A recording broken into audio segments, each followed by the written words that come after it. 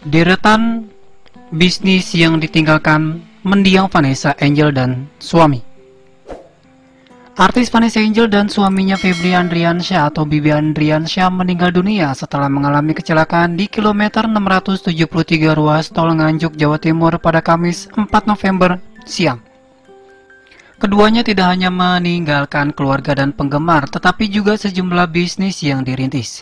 Vanessa belakangan ini tengah disibukkan dengan sejumlah usaha, salah satunya toko pakaian online.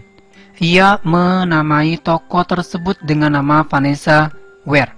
Dalam berbagai kesempatan, Vanessa bersama anak dan suami mengenakan pakaian senada dari Vanessa.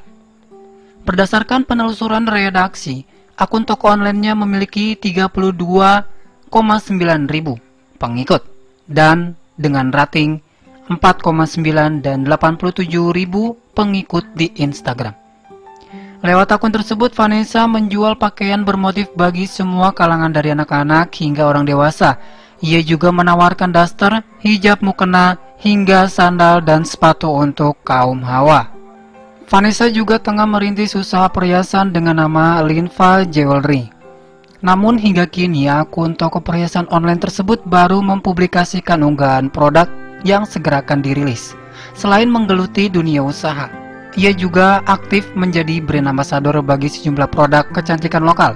Vanessa menerima berbagai produk untuk dipromosikan melalui akun Instagramnya Vanessa Angel Official yang memiliki 3,3 juta pengikut.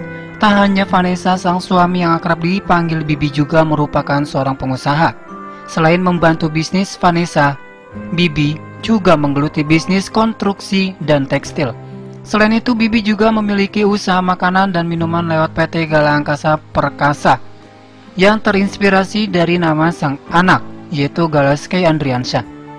Tak hanya itu, ia juga terjun ke politik dan pernah dilantik menjadi anggota muda Partai Golkar periode 2019 sampai 2024.